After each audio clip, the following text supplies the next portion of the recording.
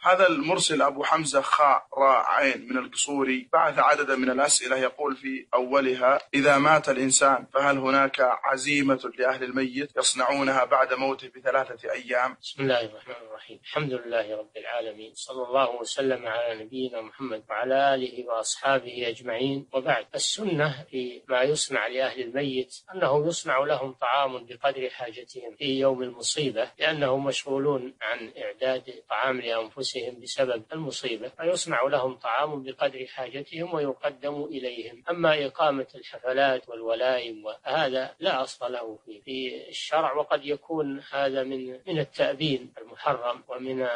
تضييع الأموال وإشغال الناس وتضييع الأوقات بغير فائدة المؤمن يصبر ويحتسب ويمضي في أعماله لا يعطل من أعماله لا سيما الأعمال التي يحتاجها لا يعطل منها شيئا مع الصبر والاحتساب وإنما شرع النبي صلى الله عليه وسلم صنع طعام لأهل الميت إذا كانوا لا يستطيعون إعداده لأنفسهم فلا يتوسع في هذا الأمر ويزاد فيه على هذه السنة